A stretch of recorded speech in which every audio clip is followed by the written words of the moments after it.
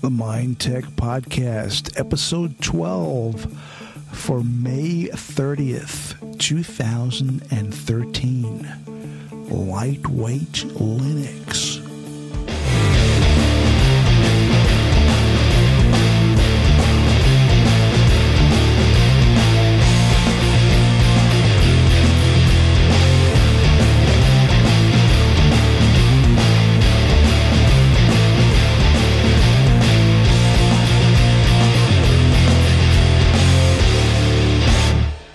Tech Podcast, episode 12, coming at you.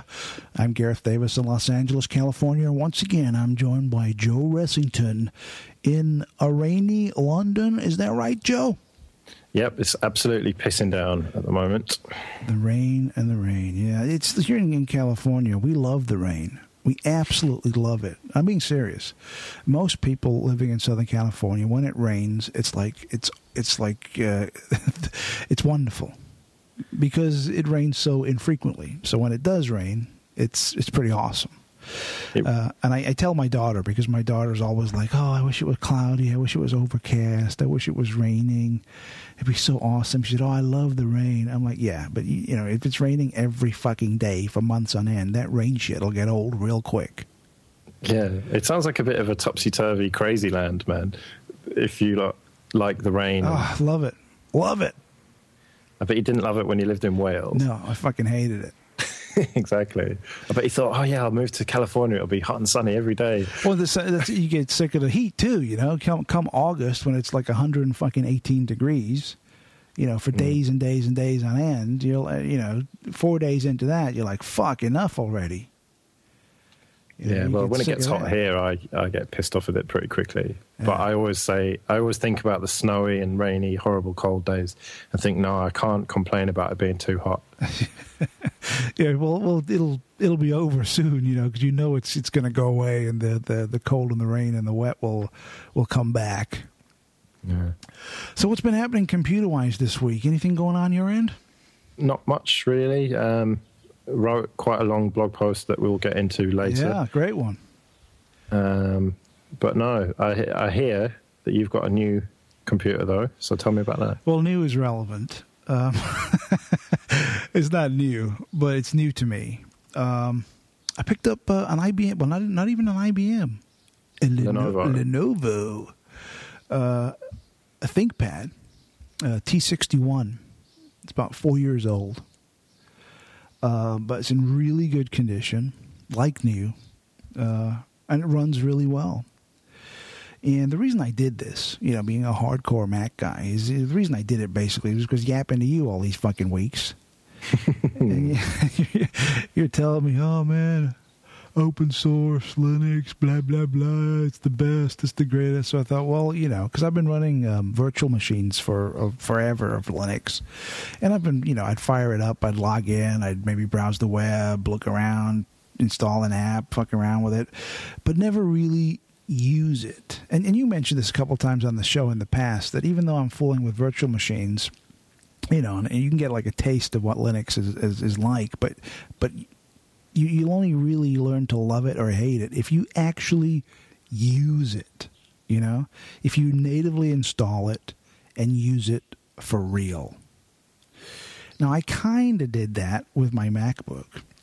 But it was dual boot, wasn't it? So yeah, so I, I, I, form, I, I repartitioned the drive. I installed Linux on a partition, but I still had OS 10, which is like my safety blanket, you know. So I, I'd boot into Linux. I'd fuck around and I say, oh well, I, I now I now I really want to get something done, so let me boot back into into OS 10, so I could you know work on stuff and do things for real instead of you know pl- playing playing around in in uh, in Linux.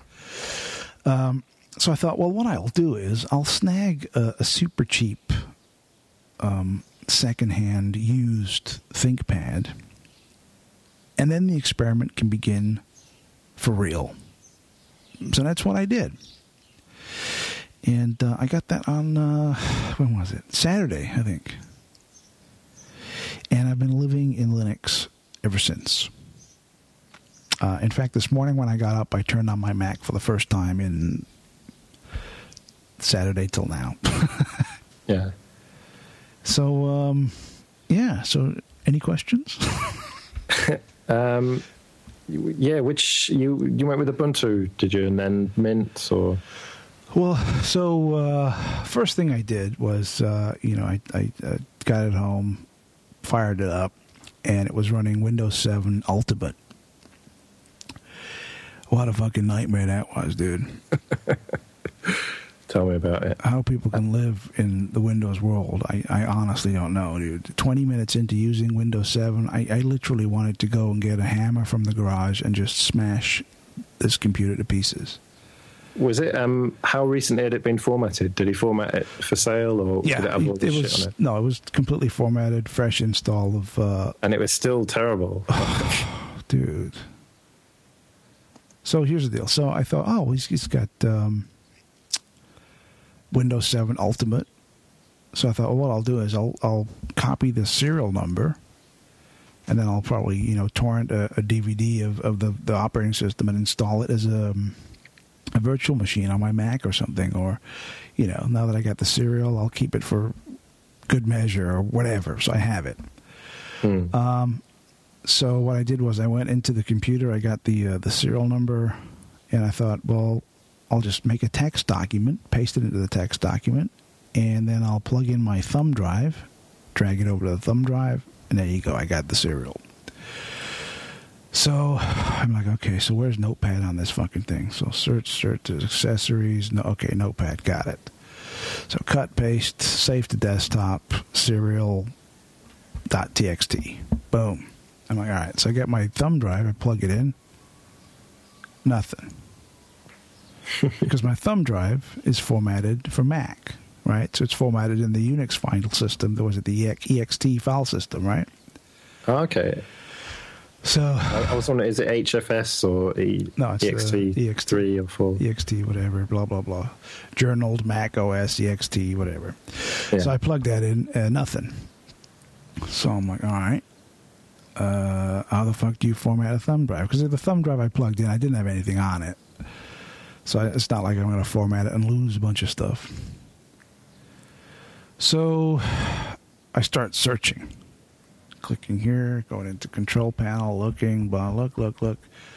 No idea, dude. The the, the frustration level builds. You know, it's unbel- so frustrating using Windows. Don't you just go to my computer and right click on it? No, because it wasn't even showing up. Oh, wait, not even. Oh, okay. Nothing. So it didn't show up it Didn't show up. Nothing. Uh, it didn't uh, even come up because with with a Mac, dude, and I'm sure it's the same with Linux. When you plug in a thumb drive, immediately you get a box that says, "Hey, this, this fucking thumb drive just popped up, and it's a format we don't recognize. You want me to format it for you? Yeah, I don't think that would happen in Linux, uh, it, but it would show up. But then you'd have to kind of go into um, gparted or something to. Yeah, so you, with the Mac, you plug it in, and it's and it's it's it says yes. Do you want this formatted? Yes or no. So in one click, it's it's ready to go or not. So I think, okay, so I fire up Explorer and I go go to Google and I said formatting a thumb drive, USB thumb drive in Windows 7. So I find the first thing I like, and it's like I go to some Windows WindowsHelp.com or whatever the fuck, and it starts with um, click on Start, go to Control Panel, click on Network, whatever the fuck, and and I, so I finally get to where it's got to go. And it still doesn't work because it's not recognizing the, the, the the thumb drive. But even to get where you need to go to format the drive is like nine steps. you know what I mean? Yeah, yeah. That's nine fucking clicks to format. A, I mean, this is like whoever designed this is like a mental case. You know what I mean? It's like shouldn't this be like uh, two, two clicks at most? So I ended up just going to gmail.com and emailing the fucking thing to myself. you know, I, like, I wouldn't I wouldn't sign into my Gmail on uh, on a Windows machine. And I'm too paranoid about how shit the security is. Especially if I've just bought it off some dude, it could have had it could be rootkitted up to the fucking yeah. bollocks, keyloggers and all that. So so that's what I did. so I just emailed it to myself, and that was it. So then once once I did that, I then grabbed my um, Ubuntu because I had had two discs already from from the Mac, so I'd had uh, Ubuntu and Mint on on uh, DVD. So I grabbed the disc, I threw that into the uh, the drive, booted into the BIOS, made sure it would boot to the the, the, the DVD drive first, and then just uh, let it install. You know, I just wiped the hard drive completely, got all that Windows shit off there, and um, installed uh, Ubuntu 13.04 and it installed no problem. Got it up and running, and uh, it was great. It was big, big plus for me um, because uh, everything worked. There was no driver issues. There wasn't like, oh, the trackpad's not working. Download this driver, or how do you get your Wi-Fi signal working? Download this. No, everything worked automatically off the bat immediately. Which yeah, ThinkPads are very good. They have very good support for Linux. So there was no all the sound work, the graphic, every everything just worked immediately um, which was great. Um, so I got that going. And I started customizing a little bit, you know, changing the background, changing the size of the dock, and blah blah blah. I installed a few applications, uh, installed Chromium, and uh, I got Thunderbird up and running, got my email going. And I thought, oh, this is pretty cool. So I'll start playing around with this. Um, but it was like the more I used it for real, the more I didn't like it. It kind of it wasn't hitting the spot, if you know what I mean. It yeah. did it was everything worked and you know, it's pretty and everything, but it's kind of clunky. It's terrible. The Unity interface, which I'll get into later briefly, yeah. is it's terrible, man. It might be innovative, but it's still shit. Yeah, it's, it's very clunky and it just wasn't floating my boat. So uh, after a while, I thought, you know what, I'll I'll I'll dump this, and uh, I'll I, I, and I remember, oh yeah, I, I loved uh, Crunchbang on uh, in my my virtual machine, so let me download that. So I downloaded um, Crunchbang, burned it to a disk in Ubuntu, and then uh, you know rebooted and installed Crunchbang, and I got that working. And I'm sure that I think that that Crunchbang will probably ultimately be my distro of choice. But it's a lot of work, dude. It's a lot of work to get it the way you want it to work. You really got to get in there and start editing fucking, you know, configuration files and shit. And uh, I was just like, you know, I just want to get shit done. I don't want to be fucking. I, you know, I want to drive. I want to drive the car. I don't want to build the fucking thing. At least not now. Maybe later I might might be into that. But right now, I just want to drive it. Yeah. Um, so then I remembered uh, you were you were a big fan of Xubuntu. Yeah, yeah. So I thought, oh, let me give that a shot. So I downloaded that, threw that on there, and that's where I'm at. And uh, it makes sense because when I was running it in uh, virtual machine, I didn't like it at all, dude. And I remember, yeah. I remember running in, in VM, thinking, "How the fuck does Joe like this? This is garbage." you know, it's horrible. But when you run it na- natively, it's it's actually pretty good. So have you, have you left it in the default configuration with the dock at the bottom? Well, the dock thing is is a is a pain in the ass for a start. I want that to just go away. I'm sick of the fucking dock at the bottom. I want that gone. Uh, yeah. So I got it to auto hide, so it goes away until I move my mouse down there and it pops up and yeah. uh, I've I've got a bunch of applications installed. I put Chromium on there. I put Audacity. I got my email working, uh, and then I thought. Um, let's let's see if I can find a good newsreader for Linux because I love my newsreader. I got a newsreader on the Mac called Reader, and it's fucking awesome. the greatest app. So I thought, well, I'm I'm probably not going to get anything as good as that, but there's bound to be a bunch of good newsreader apps out there for Linux.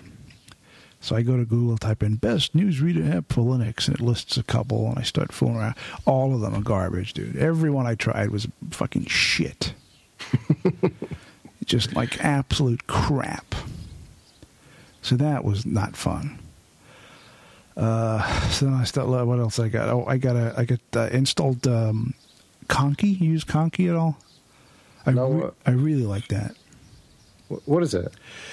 It's uh, a systems it, it, displays your system as far as how much ram is being used your processor your your up and down speed on your internet your ip address and it's totally customizable okay. Um, and it, it runs full time on the desktop and you can change it to like transparent background, different colors. Oh, is that what's in Crunchbang by default? Yes. Yeah. Oh, so, right. Yeah. So yeah. I, downloaded I don't really it. like that. I prefer GNOME System Monitor.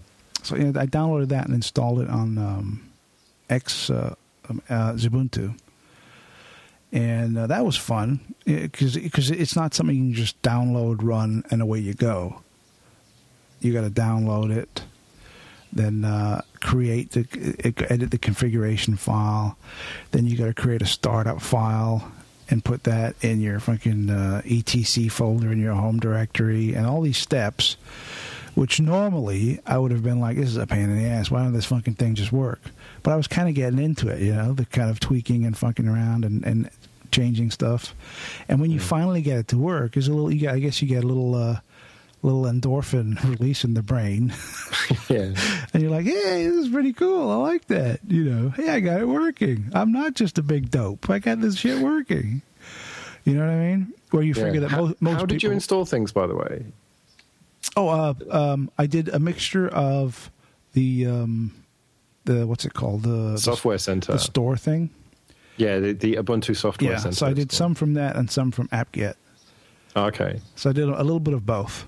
Like if if I wanted to install an app that I couldn't find in the uh, the software center, I then try the apt-get. Sometimes I got lucky, sometimes I didn't. Well, Synaptic is uh, was what used to be in Ubuntu in, before the software center, and that's a graphical front end for apt. And ah. I would recommend that. It's it it doesn't look as shiny and fancy, but it's a lot more functional.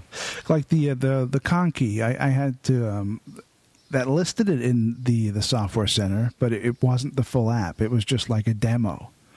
Oh, right. So I had to go to the Conky website and uh, they said you can you can either download the the tar file um, or you can just do the apt-get. So I just fired up the terminal, did uh, the sudo apt-get conky blah blah blah install whatever, and it just just downloaded everything and got it got it going. Yeah, yeah, got it working. but uh, but yeah, it's it's it's it's good. I mean, my my overall feeling is that I like it, but with a big caveat is that it is incredibly primitive. it re- uh, no, I'm not saying that to be mean. I mean, it it really does seem uh, like a step backwards in many many respects. But even though it is a step backwards, it's kind of a fun step backwards too. Yeah, and it's a step forwards for freedom as well. That, that, I know you don't true. give a shit about that, but no, no, I know not at all. No, I do, I do, I do give a shit about it. And and you're absolutely right. As far as it being, you know, freedom and open and all that stuff, I mean, you're you're, you're a thousand percent correct, right? No arguments whatsoever. Um, but as far as look, feel, functionality, it is a little bit backward.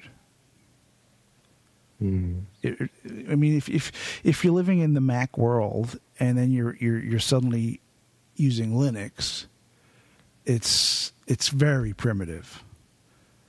Um, but uh, the, the, the the power of customization and freedom is is um, is quite compelling also. Yeah. Because if if you have the um, uh, the time and the inclination, uh, you you can pretty much do whatever you want. You know, there's, no, yeah, there's, there's yeah. no kind of restrictions. You can do, you know, whatever harebrained thought pops into your head. If you got the time and the inclination, you can make that shit happen. Yeah, exactly. If you want to rewrite any part of it, you know, if you've got the, the technical skills and right. the time and the inclination, you can change any part of it that you want. Yeah. And if, or if you don't have the technical skills but you've got money, you could pay someone to do it. Right. And and that is the freedom to do what you want with it right. rather than with you, you, to change a, a, key part of the system with Windows or OS 10. You just couldn't do that. Yeah, this is not going to. You happen. can install stuff on top of it sure, changes it, but you can't you can't adapt the system yeah. to how you want it. Um, so overall, yeah, overall, I, it was a, a, positive experience. It was it's it's a fun experiment. Um, I, I, would like it to become more than an experiment, and, and, and maybe it will. Uh, but right now, it, it's firmly in the experiment because it, it, it's like um, whenever I really want to get something done, I still go to the Mac. Yeah. When I want to just play around and, and install stuff and figure, you know, oh, look at this. Let's try and get this working. Then it's Linux. But if you actually want to get some stuff done, like, you know, I want to work on a podcast or edit something or update a website or whatever, I, I got to go to the Mac. Because the tools that are available are a lot more professional, a lot more functional, you uh, know, and it just works. Don't start with that shit again. Well, it does. It's true. I mean, no, no, in, in, in Linux, it just works too. After several hours slash days slash months of fucking around with it. Well, in my case, after several years of fucking around with it, I now know how to, then it'll to work. customize it how I want and install the things that I need. Right. And, so now, yeah, you're at the point now where it'll just work, right? You know, because yeah. you, you know how it works, you know how to tweak shit, and you've got it the way you want it to to to to be at. Uh, but from with a Mac, you're you're at that point the minute you plug it into the wall, not plug it into the wall and then fast forward three years. Now we're ready to go. Yeah. Yeah. Yeah, that's a good point, I suppose. But uh, but yeah, it's been good. I've I've, I've enjoyed it. Um, the the ThinkPad itself, um, the build quality on these things is very impressive. Even though it is just all plastic, and it does have a very plasticky feel. Um, it also has a very solid feel. They feel yeah, they, they, are very. It's sort of hard plastic rather than flimsy plastic. Yeah, it's, it's very very tough and solid, and it, it, it looks it, it feels like I don't know, man, like a block of wood or something. It feels very very tough. And uh, and the keyboard on it is the fucking bomb. The keyboard is awesome. Love the keyboard on it. And it's got the nipple mouse as well, isn't it? Yeah, but I mean, who who uses that? yeah, I don't know. I quite like them. I've got a really ancient ThinkPad from yeah. the I don't know mid nineties, and uh, I used to like using the nipple mouse. Yeah, it's got the little red thing on it, but um, you've not used that at all. Then? Well, I, I, I oh look, the mouse moves, and then that's it. but the, the the track part, the trackpad on it is really small too compared okay. to you know now trackpads are pretty big, uh, but uh, this is like four years old or whatever, so it's kind of it makes sense. Back then they weren't that big as they were now, yeah. um, but the build quality is really really nice, very impressive. Mm. Well, yeah, you have to keep us posted then on how you get on with it. Well, we, we shall see. We'll see how it goes. Uh, we'll. we'll uh, I don't know whether I'm going to stay with Xubuntu, but so far I'm liking it. I'll convert you. Yes, but uh, we'll, we'll, we'll see. Well, we shall see. Yeah. See what happens. Um, and I, I really because I've been I've been getting a little paranoid recently, and uh, using Linux just makes me feel a little safer. Yeah, you know. But uh, we'll see. That's just my tinfoil hat mania. it, it kicks in every once in a while. You know, it comes and goes. Yeah. Um, I think I said I said said it to you earlier. Sometimes I become very very paranoid, and then you know two weeks later I I don't give a shit. I'm like whatever, fuck that. I don't give a rat's ass. Uh, but it it comes in waves. yeah, it's weird how you. Uh, i see on Twitter. Um, I I signed in at uh, or I checked in at Starbucks, or I was here, yeah, just to, announcing to the world exactly what you're doing. Yeah, but but that's not my style. In my defense, though, usually when I'm doing that, I'm in the car driving away. Ooh, okay, fair enough. Yeah, but it's still um, you, your movements are tracked and well, on the internet forever. Well, well, let me put it this way to you: whether or not I track in, whether or not I check in at Starbucks, if I got my phone in my pocket, they know where I am. Yeah, I suppose. Whether or not I'm saying, "Hey, I'm at Starbucks," If they want to know where, I, if I got the phone in my pocket and they want to know where I'm at, it, it's child's play. Yeah, if they wanted to know in real time, um, but I don't think that the, the the position of everyone's phone at, at all times could possibly be logged.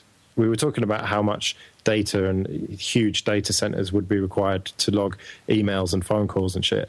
But to log the position of everyone's phone at every second of every day, I don't think there are enough hard drives in the world to log that that data.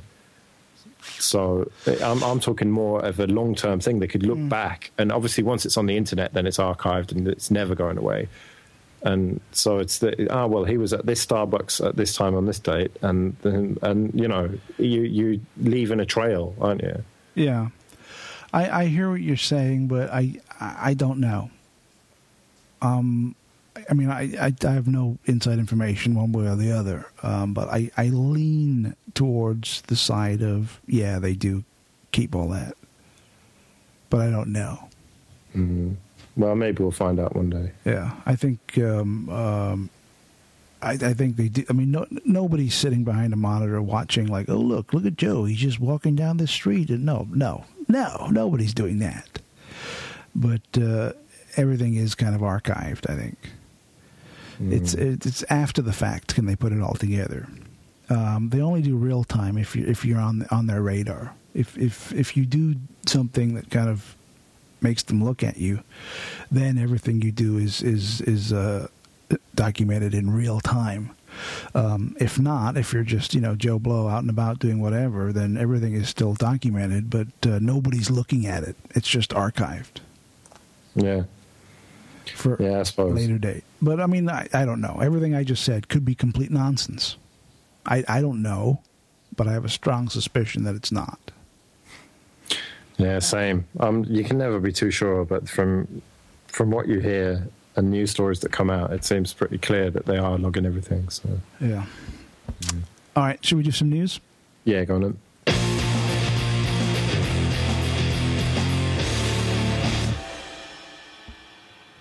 All right, here we go. Mind Tech Podcast. Here is the news. First up, we got police tap social media in wake of London attack. A dedicated team of British police are monitoring social media around the clock in the wake of last night's, that's last week's, fatal attack on a soldier in southeast London in order to gauge the sentiment and be ready to respond. Umut Ertugal who runs the open source intelligence unit for London's Metropolitan Police Service, today told OSCERT Information Security Conference uh, a team of 17 staff were working seven days a week to track social media feed- feedback and to monitor community tensions. There's a lot of work we're doing to analyze the language and how people are talking on Twitter. So this this kind of ties in what we were just talking about before the break, I guess. The uh, the uh, this, but this is actually you know they have 17 people actively staring at screens, going through data, as opposed to just archiving it and sorting it out later. And it it always blows my mind. Well, not blows my mind, but it, it piques my interest when when something does happen like this, and almost immediately they have the guys they have full access to the guy's Facebook account, his Twitter account his email, and and everything. And, and they do it on the news, you know. And you know, the the suspect last week on Twitter posted this. You know. Mm. What what jumped out at me from this article is that they are saying in it that automated um, data mining do, does not compare to actual human eyeballs looking at it. Um, and I don't know if it's them just trying to justify money saying that, you know, money going to these 17 people. But he was saying that because of people use slang and don't spell things right and right. whatever, that no computer is as good as a human. Right. And, and looking at who's friends with who on Facebook. Sure. Um, I would agree with that to a point. Um, which is why, you know, when they do go back and pull that data, um, you know, there's a human that's going to sit there and go through the data and, and data mine it for relative information. Um, it's not going to be all uh, automated and have some machine pull stuff out of it, which I should add is is coming. You know, it, that that, yeah. that will happen uh, if if it's not already happening. It absolutely will. But um, this this this article is right in that respect. You know that that. Uh, to, to have that information pulled up in front of a person where they can look at it and, and gain context that the machine might not might might miss. You know. Yeah. Another interesting thing was um, that it says in this article that during the Olympics opening ceremony, there were 10,300 tweets being posted every second. Wow. That's, it shows you the, the amount of data that they're having to deal with. That is, it's pretty crazy. And that they have an, such an exact number like that. Yeah, that's true, actually. It's not uh, around 10,000, 10,300. Yeah, it's not like, oh, yeah, we estimate around 10,000 tweets were made during the opening, op- opening ceremony. Even if they said that, you'd be like, oh, wow, that's a lot. But to actually say, you know, 10,300, mm. not 10,299 or 10,301. Yeah. it's what, a very exact number. And what's the numerology of 10,300? I'm looking for 33 in there, but there isn't one. Well, yeah. thir- it does say 32 million social media articles uh, were monitored during, the Olympics. Olympics. Yeah. So that's nearly 30. If they put 33, then I would have been definitely going crazy. So, the, the, and this really does, it, it, it paints the picture that uh, social media is, is a wonderful tool for intelligence uh, um, operations because we're doing their job for them. We're making things so much easier for them. Well, it's like, yeah, you checked in at, at Starbucks. Starbucks right. Yeah. You, you, are doing their job for them. They don't need to, to tail you, and they you're doing it for yourself. Right. In your case, obviously, you are just an, an innocent family man, whatever, just doing your daily boring shit. But I don't know, like, are terrorist types or if if such a thing really exists, are they um, they're going? Oh, I checked in at uh, Morrison's buying fifty bottles of bleach to make my bomb. You know, no. I mean, the, the, I mean, all you need to do to kind of subvert this is just leave your phone at home.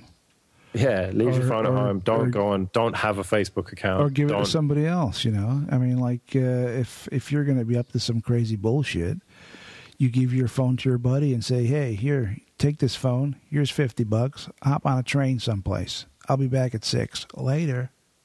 Mm. Yeah? Yeah, yeah. And then you go meet whoever you're going to meet in a public place while your phone is on a train headed to who knows wherever the fuck. You know? Mm. So there's lots I don't see I don't see how infiltrating social networks is really going to do anything other than just spy on people.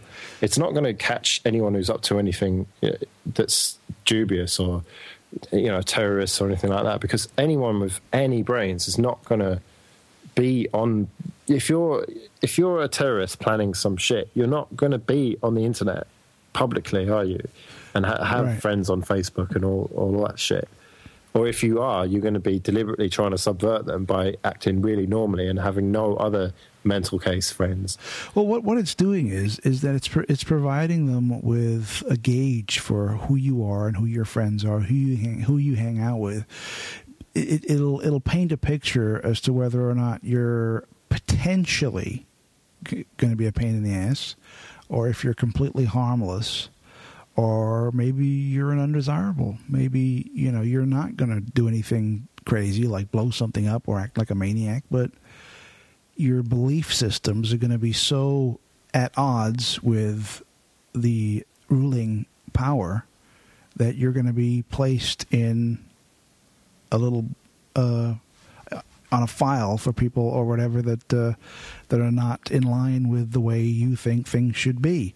And I think that's more more likely what what's going to be going on here, right? Because all this terrorism stuff, if it even exists, let's be honest, if if it really is for real, it's still a tiny, tiny, tiny, tiny minority of people.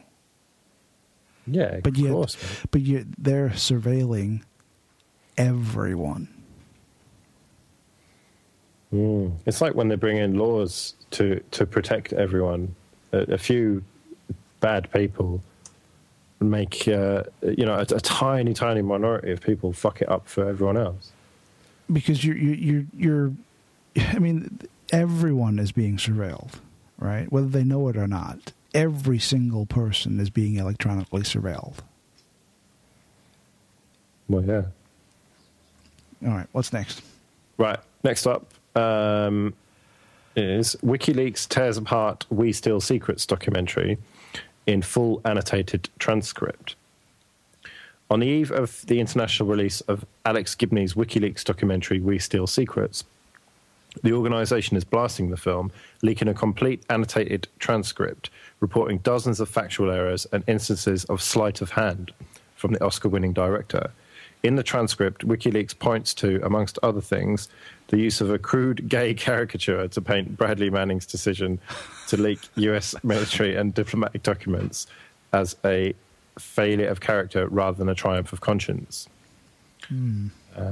etc., um, etc.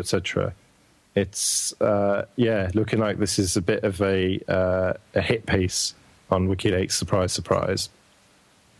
It it does seem like that. I saw the trailer to this movie uh, a while ago, and I, and when I first, when the trailer first started, I was like, "Oh wow, I really want to see this." But by the time the trailer ended, I really got the impression that this is kind of be a total, uh, like you said, hit piece where they're just trying to paint them in a light like these guys are mental, they're full of shit, they're you know these guys are fools. Um, yeah, which I don't believe to be the case at all.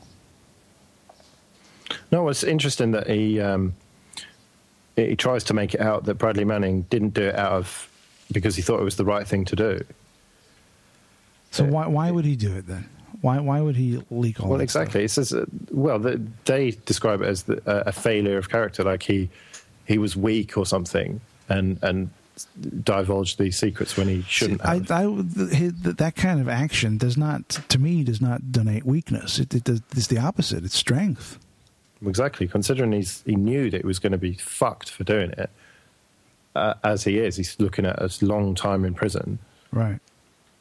And so, yeah, it is obviously the opposite of weakness. Totally. I mean, I, I something just popped in my head right now, and I used to have conversations like this many, many years ago, where, um, you know, if if if there was a draft, and if you were drafted to go to war, and you said no, people would call you a coward. When in reality, the exact opposite is true. Mm, I don't know about that, really. I mean, I wouldn't go uh, on principle but a part of that principle is that I don't, I don't want to die. So well, no, it's like when when you have that much peer pressure, right? Not only is like you know your friends and your family, but society at large. Right. If if it's a war that everyone's like, imagine World War Two, right? Imagine World War Two, right? You know, the the Nazis are going mental, doing all kinds of crazy bullshit, and uh, there's a mandatory draft, and everyone's going I mean, the whole culture is behind it. Everyone is like, "Yeah, we got to fuck these guys," and you're like, "Nah, I'm I'm I'm not going." Yeah. That's balls right there, dude. That's fucking balls. That's far braver than actually going there. I suppose it's a different kind of braveness. To to the it does take uh, balls to to go and face it and face almost certain death, especially in World War One. Uh, see, a lot of a lot of people though they, they go they would go to war because it's well you know I don't want to go I, I don't give a fuck about the war but I guess I got to because if I don't man what'll everyone think of me? Yeah, yeah, that's true. Yeah, so they just go along and, and kind of cross their fingers and hope that that they get they get put in the in the kitchen or something. yeah. you know, as opposed to uh, you know storming the the, the the, the village or whatever. Um, so yeah, I think of someone like that to come out to do that, that that speaks of strength, not weakness, for sure.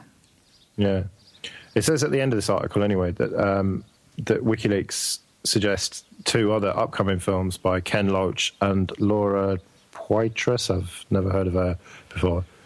But yeah, it seems that there'll be a few films about WikiLeaks. It's obviously a bit of a hot topic, or it yeah. was a while ago. Anyway. Isn't there a, a, movie coming out with um, uh, Benedict Cumberbatch playing Julian Assange? That might be the Ken Loach one. And it's not. It's that's not a documentary. That's like a, a, a, dramatization of events. You know, it's like a like a movie movie. It's not. Yeah, like not a, biopic. Yeah, yeah. That yeah, I'm not sure about that. Because I mean, Assange really is. I think he's a very interesting character. You know, it's it's fascinating the way things have kind of played out. There's something very sinister and creepy about him, though. I would. Well, I don't know about the sinister, but the creepy thing for sure. I would agree with you there. It, it, there's definitely a kind of vibe from him that's a little off. It's same with his buddy um, Appelbaum, J- Jacob uh, Appelbaum, the the other guy. Uh, I mean, right. I, I, totally respect him. I think the stuff he says is on the money, and he, and he, very cool. You know, things he has to say about privacy and and all that stuff but he does give off a vibe like he's a little off. Mm. Do you know what I mean? well, uh, dare I say it, it comes off a little bit rapey. like it's very kind of I don't know. Like you can't put your finger on it, but he, he, gives off a vibe like I'm a little bit maybe not mental. That's that's not the right word because he doesn't come off like he's he's crazy. Uh, he comes off very, very rational and and um, you know uh, uh, down to earth. But there is this, there's something there that's not like um, he doesn't give off the vibe like, hey, it'd be great to hang out with him and have a few beers. Yeah, not yeah, even, not exactly. even close. Yeah, I know exactly what you mean. Like if you if you went out and had a few beers with him, it'd be like a massive fucking downer. you know what I mean? It'd be like doom and gloom. You'd want to, you'd walk out of the pub wanting to fucking hang yourself. no, you never know. You might be a laugh. You might, might be. You never know. But that's not the yeah. vibe he gives off. But hey, you know, vibes can be wrong, right? You know, mm. you're not always right. It's it's called the Fifth Estate anyway. Um, the the Benedict Cumberbatch biopic. What's it called? The Fifth what state?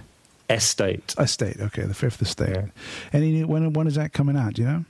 Uh, it looks to be coming out uh, in the UK on the 1st of January next year. Oh, wow. So we got a while to wait. I thought it'd be out sooner than that. Uh, oh, no, in the US it's coming out um, October, so not that long. Oh, okay. Yeah, it looks so interesting. I'll, I'll, certainly be checking that out when it uh, when it's released. Yeah, yeah. And uh, in in the uh, in the spirit of WikiLeaks, I'll torrent it. Uh, all right, let's get on to our next uh, story here. Let's see. This is a good one. Uh, confidential reports lists U.S. weapon system designs compromised by Chinese cyber spies. Cyber spies. Designs for many of the nation's most sensitive advanced weapons systems have been compromised by Chinese hackers, according to a report prepared for the Pentagon and to officials from the government and the defense industry.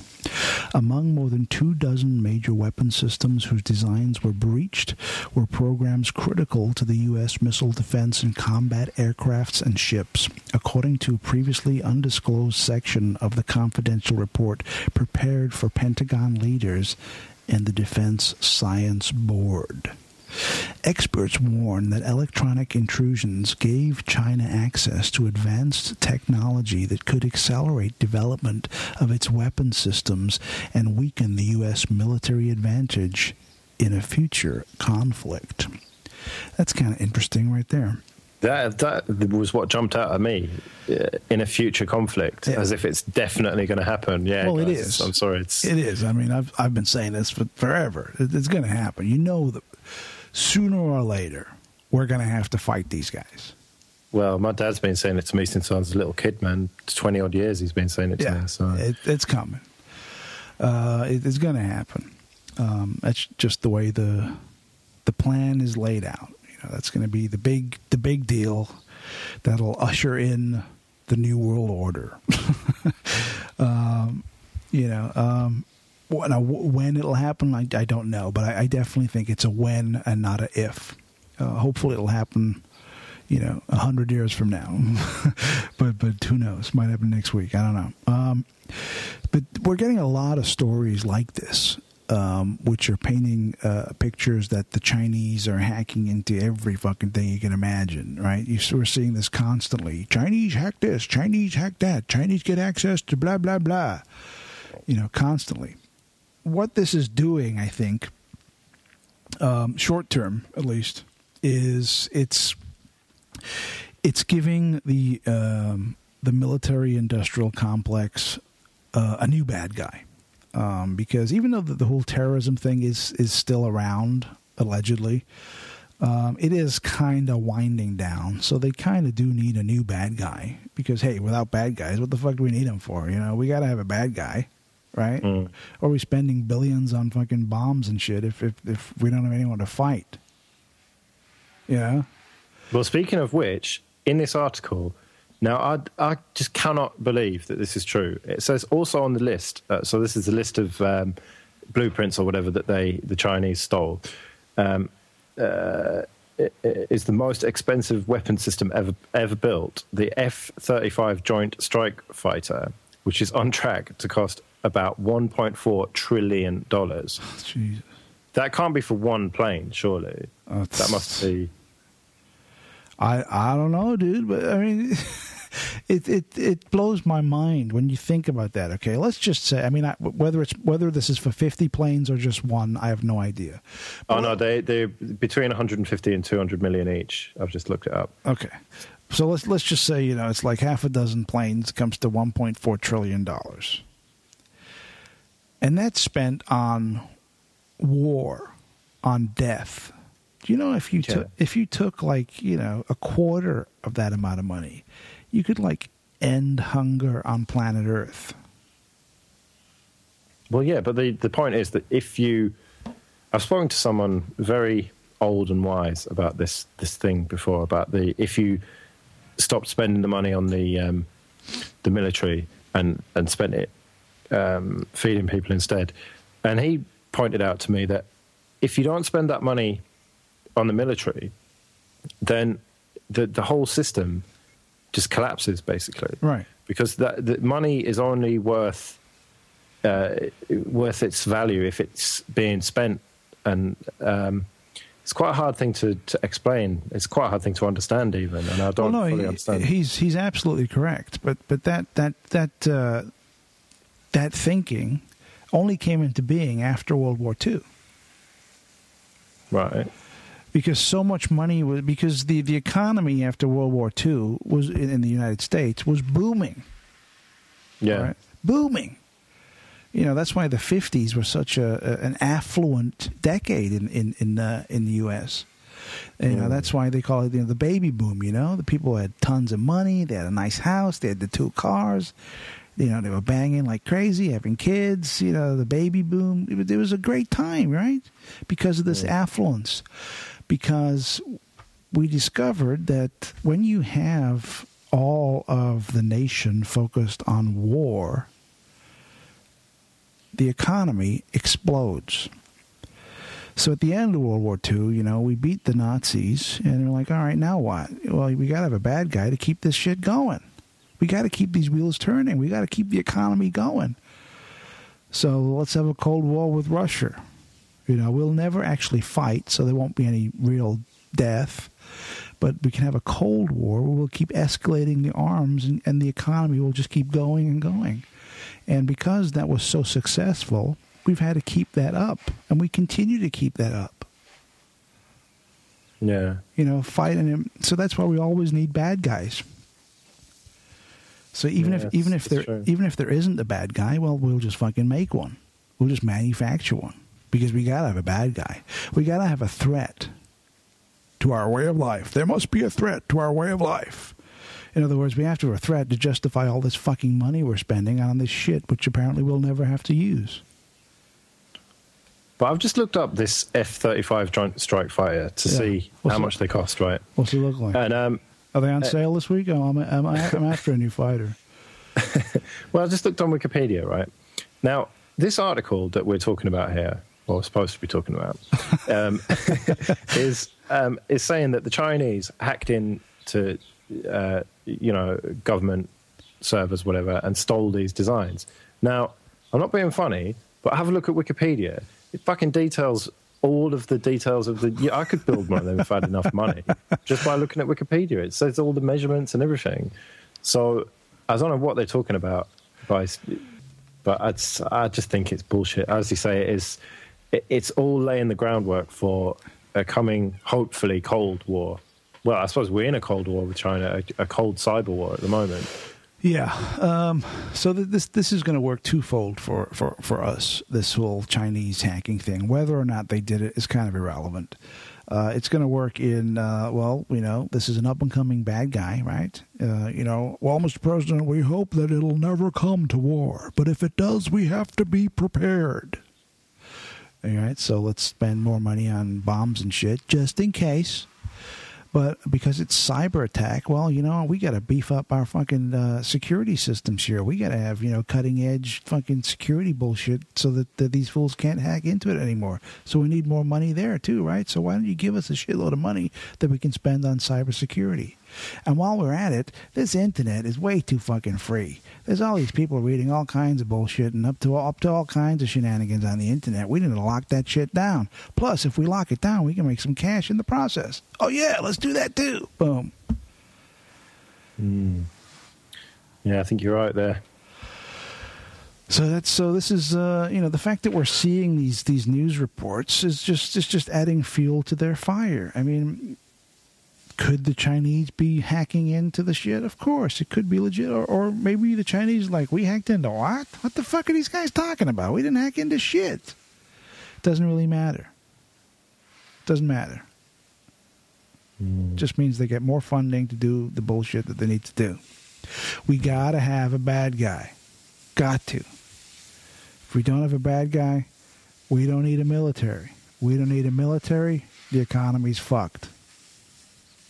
So yeah, exactly. All right, let's do. Uh, let's see. Let's do one more story, and then we'll we'll, we'll move on. We got one here, which is uh, a little disturbing on many levels, but we're going to go there. This is uh, from uh, Milwaukee Associated Press. Uh, a federal magistrate in Milwaukee has ordered uh, a West Allis man to provide readable versions of encrypted hard drives seized from his home as part of a child pornography investigation. The order, the order by U.S. Magistrate Judge William Callahan Jr. marks a reversal from his earlier decision that the Fifth Amendment in- insulated the suspect from such a mandate, the Milwaukee Journal Sentinel reported. Callahan said the difference is the FBI has since decrypted part of the system seized from Jeremy Fieldman's apartment. Among the roughly 700,000 files were mainly that clearly constituted child porn. The agents also found files containing detailed personal financial records relating to Fieldman and dozens of personal photographs of Fieldman. That, along with the FBI's claim that the unencrypted computer also seized from Fieldman's apartment had the file names suggesting po- child pornography, was enough for Callahan to conclude it was a foregone conclusion that Fieldman had access and control and seized his hard drives. This is a scary case. Now, admittedly, we don't know the full story here as to how this guy got up on their radar, whether it was a sting operation or whether they just randomly found some shit that, that he was up to. I, I really don't know. But um, the fact that they seized his computer and it says that the FBI had decrypted part of the system but couldn't decrypt another part. Therefore, they, they need this guy to hand over his password to decrypt the files. And if he were to do that, he would essentially incriminate himself. You know? So it's the Fifth Amendment, yeah. isn't it? That you're you're right that we don't have in this country, but you have that you you can stay silent, right? Uh, because, if it's because if he not incriminate yourself, yeah. because uh, he's, he's kind of stuck between a rock and a hard place, right? Because it's like if uh, if he gives if he cooperates and gives over the password, and he does have some shady bullshit on his computer, that's just going to make his case a million times worse. Hmm. But if he doesn't and he, he keeps his mouth shut, then he's still fucked. Well, he's going to be in contempt of court. Now, I don't know how long you can get. Uh, can can you be put in prison for a long time for contempt of court? I, I don't know. I'm not sure. But if he's got child porn on there, then surely it's better to. I would have just said, if I was in his position, I don't know, I forgot the password. Sorry, guard. I mean, I've got passwords to sites that I've forgotten, and I uh, oh, yeah. have to do the um, the email thing. You know, the reset your password. Right. So you could say it was a really long complicated password. I well, don't, that, know what it is. Sorry. That's the thing with encryption, though. I mean, if uh, if you do forget what password you use for an encrypted file, then you're fucked. You're done. Well, you can you can brute force it, but uh, and that's obviously what they did with one of his drives or yeah. partitions or whatever. But they they couldn't brute force the other ones. So, well, it depends on you know how how how uh, powerful the encryption algorithms you're using. Um, some of them are so powerful that it's uh, it's unlikely that you could brute force it. You know, with, unless you had you know a supercomputer, and that would take years to to crack it. Yeah, I've heard that some of them are, uh, as yet, almost uh, uncrackable, at least in practical terms. Yeah. So it would take, you know, maybe if you had a supercomputer, it would take hundred years or longer to crack it. You know, for for something as as dopey as this, I mean, no one's going to invest that amount of time and or money in cracking his his nonsense. Plus, he'd be dead by the time it, it's done. Yeah. So their only op- option is for him to uh, to to hand over the password so they can uh, take a look. Now, I was wondering though, what if if they were if he were to give the password and they were to decrypt it and there was like just you know pictures of his cat or some shit and how, how would that affect his case? Mm. Well, surely if there was, well, this is, sounds a bit Daily Mail, but there's no smoke without fire. Why? Why is he bothering to make this big stink if there's no, you know, child porn on there? If if it was me and they wanted me to, you know, uh, give them a password, I'd be like, yeah, well, there's just a, a lot of um, Pro Tools files and uh, you know music that I've made. Yeah. So no problem. But if he's genuinely got shady bullshit on there, then hmm, that's obviously why he's doing it. Unless he's just trying to, to make a stand for freedom and well, fuck yeah, yeah Fifth that, Amendment. That's what I was going to say. Is that you know if, if if everyone went down this path, then it would make a lot. You know whether whether it doesn't really matter whether you have any shady stuff on your computer or not. But if everyone did routinely encrypt stuff, um, it, it, would make things a lot uh, fairer, freer, and better for everyone. Uh, but because so few many so few people do this, it it's kind of looked at like, oh, what's what's uh, what's he trying to hide? You know, what's this guy up to? Um, you know, a few weeks ago when we were talking about the Tor network, and uh, I said, yeah, I've, I've used Tor. I have it installed. You know, it gives you anonymous uh, browsing on the internet. And someone posted, only pedophiles use Tor. Well, no, so I um, I brought up the that my impression of it is that it's a paedophile network. See, I, I, I honestly that that thought had never popped into my head until you guys brought it to my attention. Mm. You know what I mean? In my mind, it was like, well, Tor Tor is something that's awesome because it gives it gives you a level of anonymity online, so that uh, you know marketers and corporations and governments can't see where you're going and what you're doing. And then, yeah. but then when you said that, I was like, oh, fuck, ruined it. well, that and also stuff like the Silk Road, which you're not supposed to talk about. What is that? that I'm I'm completely unfamiliar with that. Also, what what is? Well, this? I've I've never hooked it up and seen it, but what, what Silk is Road is uh, a deep web off radar thing. You need to use Tor to to get there. It's not just the silkroad.com or whatever. and um, it's pretty much uh, well, I, have never seen it, so I don't know. But my understanding is that it's, uh, I suppose, the black market eBay, uh, and you can buy drugs and weapons and whatever you want. There's some legitimate stuff on there, um, and there's a um, uh, like a, a, rating system, you know, reputation system and stuff. Yeah, and um, the the only currency used there guess what it is? Bitcoin. Ah. Right. So it's it, the the bit, Bitcoin advocates that are trying to make it go more mainstream uh, don't like to talk about Silk Road because without Silk Road, Bitcoin would not be as valuable as it is because most of the transactions that go on are Silk Road transactions. Yeah.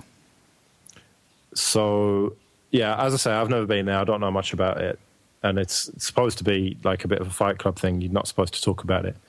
So Interesting. That's all I'm saying. no, that's that's fascinating, and it, it really does kind of. Uh, I mean, when when you get uh, governments and corporations deeply involved in the internet, when they do try to regulate it and pass laws and tell you what you can and cannot do, it's only natural that these different levels of access will will will evolve, will will form you know, where there there'll be uh, a, a different tiers to the level. Yeah, of, just what I was going to say. The multi-tier.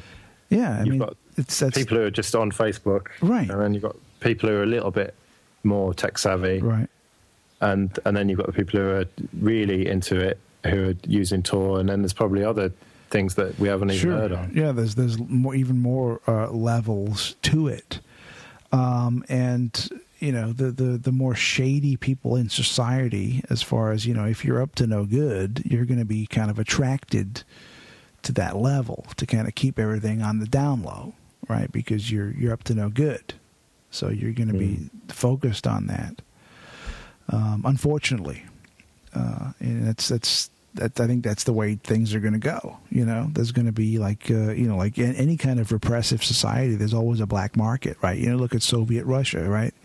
You know, where you know the, the, everyone's supposed to be the same. There's no rich people, there's no poor people. Everyone's the same.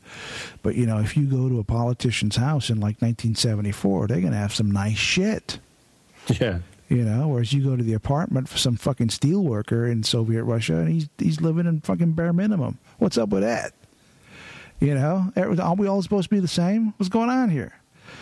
Um, so it, it's it's kind of like that that kind of uh, uh, you know that kind of black market deal. You know, there's always stuff available. You know, no matter what you want, if you want it bad enough, you're going to be able to get it. Yeah, exactly. Um, and that's never going to go away. Uh, you know, regardless of what laws are passed, that shit is it's just going to be get darker and darker. Um, I think I mentioned on last week's show, you know, we're we're either at the beginnings of or or in the middle of because I, I really can't judge where, but I know that it's either happening or going to happen. There's going to be like a kind of cold war between uh, citizens and and the government as far as the internet because the the government wants to control the internet and the people don't want them to.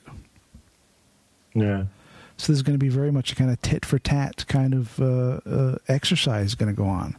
Or we're going to pass laws to do this. Oh, you're going to do that? Okay. Well, guess what? We're going to do this. I think it's going to be a minority of people though who uh, w- will do things like the deep web. I, I don't think that the tiers are going to be equal in terms of numbers right. by any stretch of the imagination. You're going to have See, th- a, a, small handful of people. The thing that gets me every time, though, is you know, uh, Google and Facebook and all this nonsense. Uh, they're harvesting all our data, data mining everything, and then they're selling it to advertisers to market stuff to us. Now, as long as that data is like anonymized before it's sold to advertisers, I, I really don't have a problem with it. You know, if I mm. get targeted ads to me, you know, on my, my web searches, I'm I'm okay with that. You know, Facebook makes a bunch of money with that. Google makes a bunch of money targeting ads at me because of my data. It's all anonymized, but I'm still, you know, then I'm I'm fine with that. The issue that I have is that governments and or organizations also have access to that data. And when they have access to that data, it's never good. You know? Yeah. It's it's never going to be like uh, Joe Blow from the government knocking on your door saying, "Oh, Mr. Ressington, we've just analyzed, you know, the last ten years of your internet usage, and uh, we we've discovered that you need a, a, an income tax break, and we're going to write you a check right now for, for several hundred thousand pounds." you know, it's it's never positive. Yeah. It's it's whenever they contact, it's, it's always going to be negative. Always. You know? Yeah, you're right. And I, I, I, don't want getting a bit Alex Jones there. yeah, but it is. It's going to be negative. It's always. Gonna, it's never going to be positive. They're never going to look in through your shit and say, "Oh, you know what? This is. Let's do some positive shit for this guy." It's always going to be some fucked up bullshit that's coming your way. Um, So as far as corporations like Google and Facebook harvesting all this stuff, if if they're just going to use it for advertising and to sell shit to me, and, and they're going to make money off that, I have no problem with that.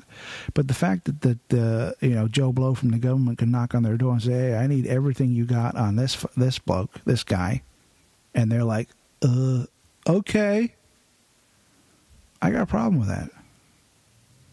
Yeah. Anyway, I need a piss, and it's getting on, so let's have a break. Let's do it.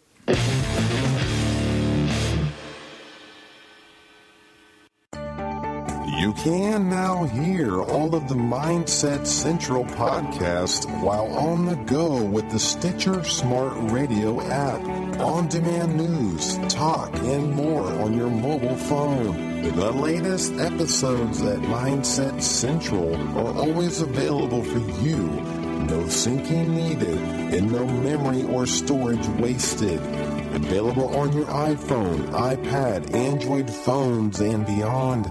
Downloading is easy. Go to Stitcher.com or check out your App Store. Stitcher Smart Radio, the smarter way to listen to MindsetCentral.com. You're listening to the Mindset Network.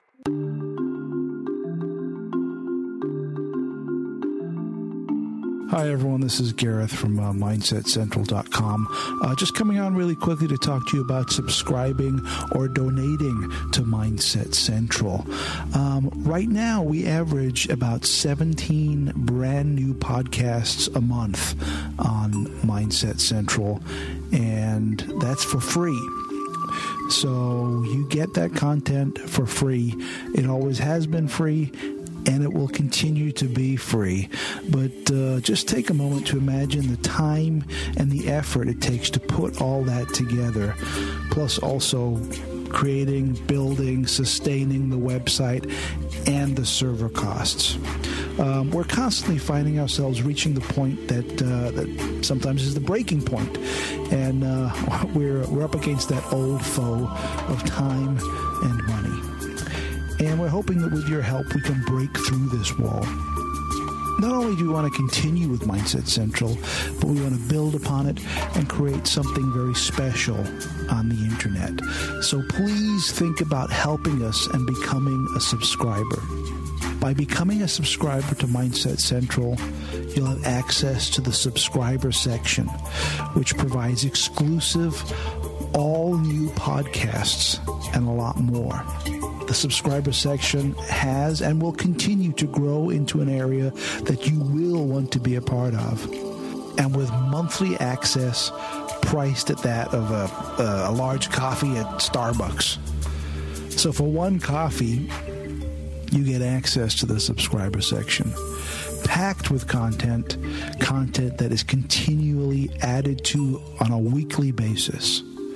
So please help us Help us by becoming a subscriber. Thank you.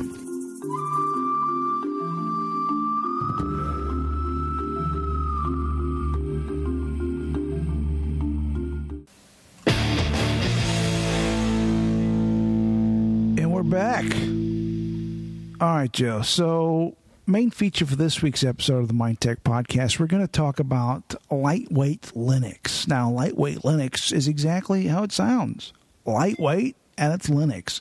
It's a very small um, Linux distribution that runs really well on pretty much any hardware you throw at it, especially old hardware, right, Joe? Yeah, well, my I did a roundup recently of lightweight desktop Linux because there's there's various uh, Linux distros that are for servers that are extremely lightweight, but what I'm talking about is desktop Linux with uh, being able to go on the internet and all the rest of it, a desktop operating system. And yeah, there's there's various levels of um, of lightweightness, going from uh, f- flashy um, spinning cubes, fancy 3D graphics uh, desktop Linux, down to the the most minimal, looking like some sort of Amiga or something from yeah. 1993. Um, but yeah, it's, the the idea is that um, it, what we'll be talking about is is Linux that can run on older computers, um, or sometimes really ancient computers, or even modern computers. But just if you want it to run just snappy and perfectly fast and no lag ever, and you never never waiting for anything to to to load or anything like that. It's just quick, quick, quick everything.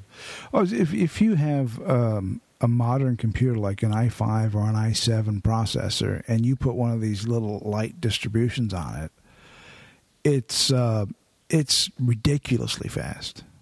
Yeah, it's just it it's, boots within a couple of seconds. It's beyond. It's it's like um, it's like having an SSD but using a regular hard drive. Yeah, well, I mean, I'll I'll get down to it later because we'll we'll start at the from the heaviest, okay. going down to the lightest. But um, just a, a, bit of a spoiler that um, Tiny Core, for example, which is the the, the lightest, uh, in in my i5 uh, laptop with, with, an SSD, um, it, it, it boots boots within I don't know three or four seconds, and it's just super super fast. So, so from turning the power on on your laptop to having a full desktop ready to go is like three seconds. Uh, well, no, because I have to actually boot from USB. Thinking about it, um, so it's turn the laptop on, tap escape, get the boot menu, go down to USB, press enter, enter again. well, that's you. You can't install it natively on on, a, on the hard drive. Yes, uh, no, you can do, but I've, just for my tests, I, didn't, oh, I didn't bother. I got you. But if if, if well, you did install it natively, it would be crazy fast. Yeah, oh, yeah, yeah. Like especially with an SSD. Yeah, yeah. But um, but anyway, so um, m- most people who are new to Linux will know uh, probably about Ubuntu or Linux Mint, right? Maybe. Yeah. Um, and the the underlying technology the, the actual operating system between Ubuntu and Linux Mint is almost the same. They're, they're both based, well, Linux Mint is based on Ubuntu, and Ubuntu is based on Debian. Yeah. So the, the, the core of the operating system is almost the same. Uh, it obviously varies from version to version with, with newer parts and all the rest of it, but essentially they're the same operating system. And it's just the UI that's different. In Ubuntu, it's called Unity. Yeah. Um, in Linux Mint, it's either Cinnamon or uh, Mate, Mate, whatever you want to say. And that's just the, the graphical front end to it. Now, the, the, the, the easiest way to get a lightweight Linux is to take something like Ubuntu or Linux Mint and install a different desktop environment on top of it. Um, now, I go on about Ubuntu and XFCE, which is the first step down from the likes of Cinnamon and Unity. Because Cinnamon and Unity will work perfectly well on a, on a brand new i5 or whatever. Sure, sure, yeah. But if you've got, say, that ThinkPad, for example, yeah. I mean, did you find Ubuntu was a little bit laggy? Not not yeah. horrendously unusable, but just the odd little bit. No, I, I did. I mean, it, it it it was very usable, but things weren't popping. Yeah, it, it, wasn't that perfectly snappy. Right. I mean, obviously compared to Windows, it's it is night and day as you. But like then again, say. on on Windows, when I was at the Windows Seven thing on, it was the same deal. It, it, oh no, that's what I mean. Yeah, Windows, even on brand new hardware with a brand new right. install, it's just fucking atrocious. Right. Um, but um, so you you tried uh, Xubuntu and you noticed instantly that that was much snappier. Exactly. Yes. Yeah, because it, that um, Xubuntu uses XFCE, which right. is the first sort of step down from those. Um, I, that, I, also that, tried the Crunchbang too, and that was yeah, yeah, crazy well, we'll, fast. We'll get to that. Okay, that's sorry, that's sorry. OpenBox. We'll get sorry. um, uh, so yeah, XFCE anyway um, is uh, it's very customizable, um, and it's I have it customized to look pretty much like Windows XP with the start menu and uh, quick launch uh, and, and my clock in the corner and a taskbar at the bottom and all that. Um, but you can also install docks and whatever you want. You can make it whatever you want if, yeah. if you are willing to customize it. And obviously, the more uh, fancy stuff you install and, and customize, the, the little bit slower it's going to be. But if you go for a more or less default uh, Xubuntu, for example, then um, it's you, you'll find that it's much quicker well, not much quicker, but that bit quicker than Ubuntu. Um, so that's XFCE anyway. Um, and if you uh, follow the link in the show notes, you, you'll see this big blog post that I've done, and it's yeah. got instructions of how to install that. So you can you in, can um, you can install if if you're running uh, Debian or uh, a Ubuntu uh, derivative, you can just use the sudo apt-get and install these different desktops and yeah, pick and the then, one you yeah, like. It's, it, it, with all of the desktops that and in this section that I'm talking about, all you have to do is open a terminal, type some stuff sudo apt-get install and then the name of it. Then once it's finished installing, just log out rather than switch off, and then you, you get a session menu, and that session menu allows you to just pick. Um, and so it would be by default it'd be Unity right. uh, in Ubuntu or Cinnamon in Linux Mint. Um, but then you can just go down to, to click XFCE or Xubuntu, which because Xubuntu is a slightly modified version of XFCE. It's customized with different yeah. colors and different, slightly different layout. I, I did try that when I had um, uh, 1304 Ubuntu installed. I did go yeah. ahead and download the uh, the Cinnamon desktop for it. Yeah, and logged out and logged back in with with Cinnamon, and uh, it was like it was a kind of mishmash, mishmash between uh, Mint and Ubuntu. Yeah, I mean, uh, you'd have to do some customization of the colors and stuff to make it look yeah to look how you want. Um, but anyway, so that's that's Ubuntu, uh, XFCE and Xubuntu anyway. Um, but the next step down is called LXDE, uh, Lightweight X11 Desktop Environment. Um, now, LXDE is pretty much the same as XFCE, only a little bit faster, pretty much. Um, it's as customizable. By default, it comes looking like Windows XP. Yeah. Uh, so it comes a little bit more like Windows XP than XFCE by default, um, and uh, it's it's really great. Really, it looks a little bit more old school than uh, XFCE by default, but you can change it. You can change the theme and the colors, and you can really customize it. Um, now, LXDE is brilliant, and if it wasn't for the fact that I am so boring and just like to pick something and stick with it, then I would probably be using it on my main machine. I, I was just just going to ask you, how come you're not using this? Well, because I hadn't heard of it when I settled on XFCE. Because uh, I settled on XFCE very early on, yeah. and I've just stuck with it, and I know how it works. I know right. how to customize it exactly how I want, and um, I've got a really old netbook that I've talked about before, an uh, Eee PC 701, one of the original Asus netbooks, and um, I've got it. I've got LXDE on that, and it runs pretty well. Um, so yeah, I mean, I, if I had heard of LXDE, I would have been using it. Right. Although to be fair, when I switched to XFCE, LXDE, I don't even know if it was around, and if it was, it wouldn't have been as developed as, as it is now. Okay. And it did have some bugs in it until recently, but it's yeah, I would really recommend checking that out if you if you don't mind that kind of Windows paradigm the, with the start menu and, and the taskbar and everything. Okay. Um, so then you've got two that are very similar, which are Fluxbox and OpenBox. Um, and, and, again, this is a step step down in, in weight and a step up in speed. Fluxbox um, is I don't know. I don't really like it. It's um, it's similar to OpenBox, but it's just harder to use. Like to to to configure it, you need to edit text files. Yeah. And there's no GUI tools to do that. Um, and it, it is, uh, it, it, does have a taskbar. That, that's the difference. But by default, Flux, Fluxbox has uh, a taskbar at the bottom. But in order to, to do anything that you want, like um, access the programs or whatever, you have to right click on the desktop. Um, uh, OpenBox doesn't is more like uh, Crunchbang, huh? Well, no, Crunchbang is Debian with OpenBox. Ah, okay. Basically.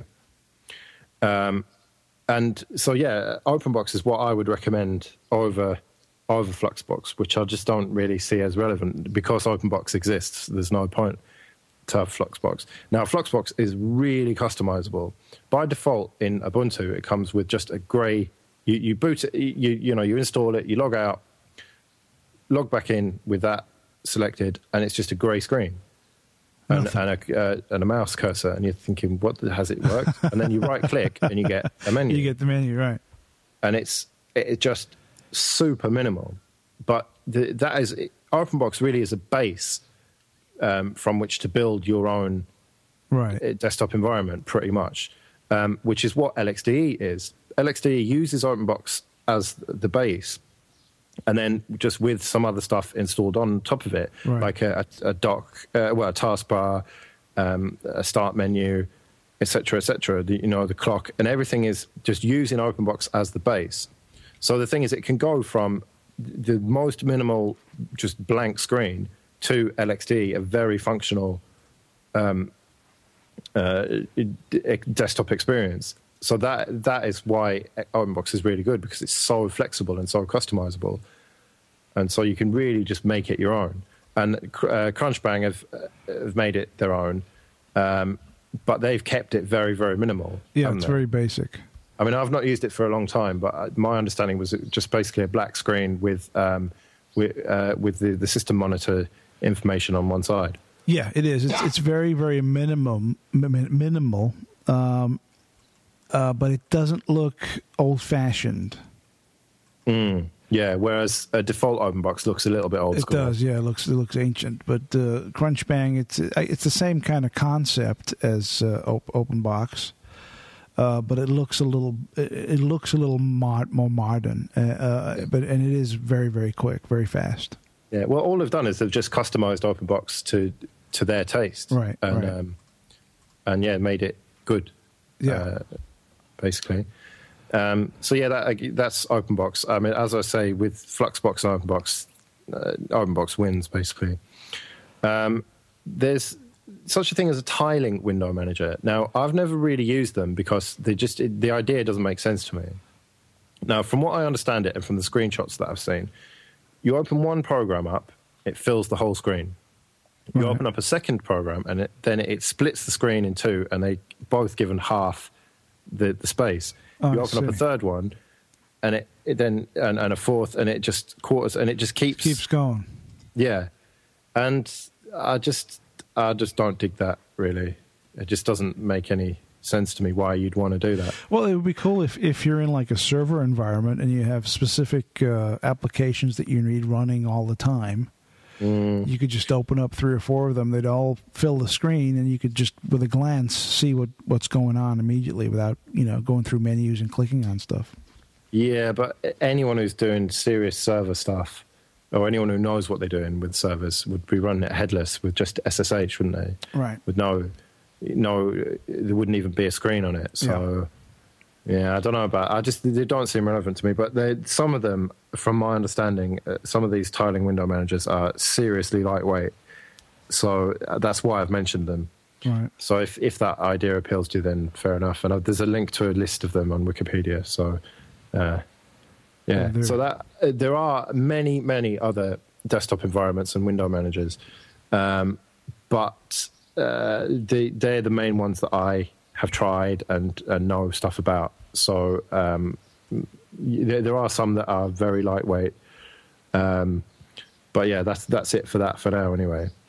Um, then you've got some lightweight distributions. Now, um, if you want, uh, you, you, can obviously install these des- these lightweight desktops on top of something like Ubuntu or Linux Mint, but you can get um, uh, dis- distributions that are just that, that have these lightweight desktops uh, uh, ready by to go. Default. Because uh, if if you ha- if you just download the the default Ubuntu, and uh, you're like, yeah, I'm not into Unity. I want to put the uh, XFCE on it or whatever.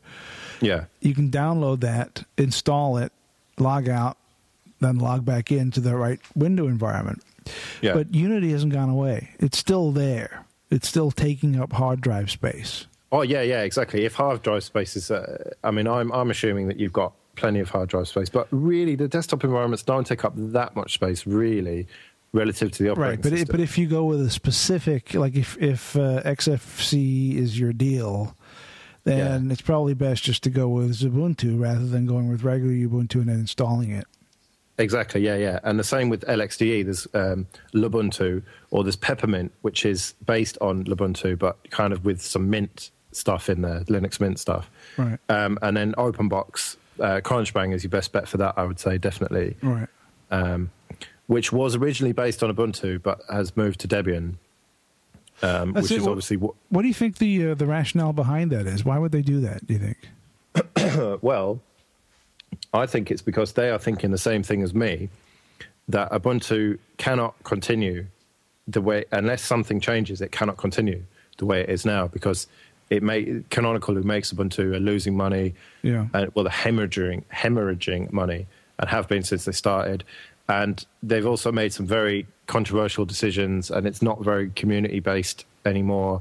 Um, and it's uh, the official line is that well, Ubuntu's based on Debian, so why not just cut out the middleman? Just make it Right, right. Because uh, I mean, um, uh, uh, this is all speculation. We we we don't know why they did it. I mean, if we asked them, I guess they'd probably tell us. But uh, uh, if from your thought process, it is that um, Ubuntu is probably going to go away within the next five years.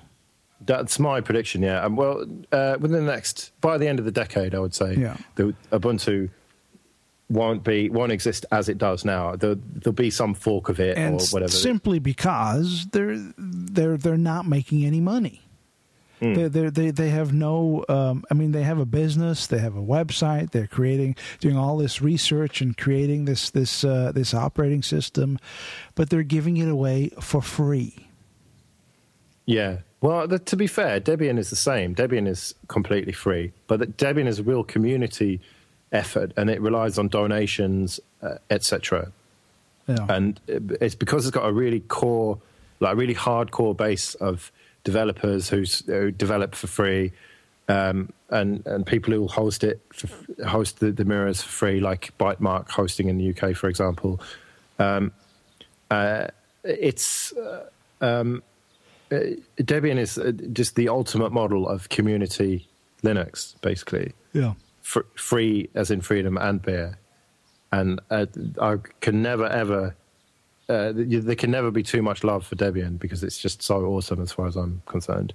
So, are you planning um, to switch anytime soon away from well, no, uh, the I mean, Ubuntu the thing is deal? That I, I, do say that, but um, what Canonical have done with Debian is they've taken something really awesome and polished it up a little bit and made it just work a little bit better.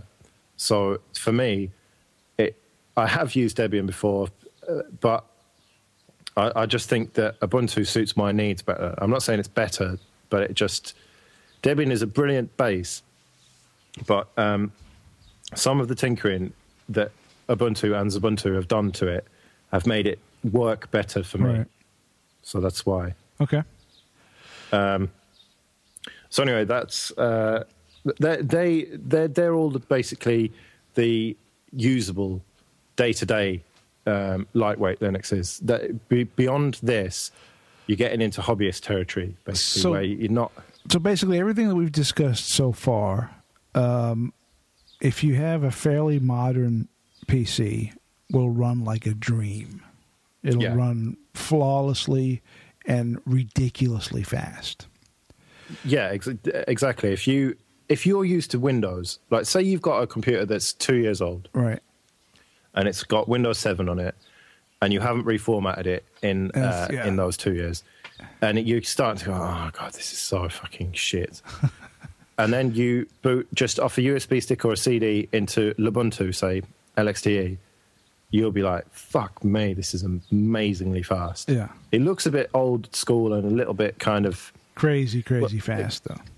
Oh, amazingly fast. I mean, I always go back to Amiga-ish because that's kind of yeah. my first right, right. computer. Like that, that really sort of nineties look. It's kind, of, kind of vibe, that, yeah.